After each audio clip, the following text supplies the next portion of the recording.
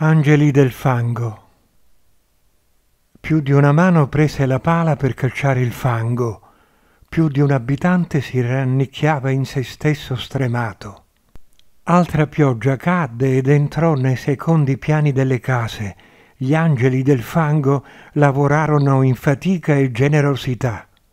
Quando ogni cantina fu colma e si camminava nelle strade d'acqua, assetati di asciutto, gli angeli del fango le asciugarono.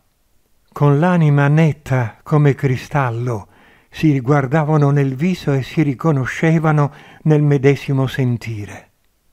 Commento.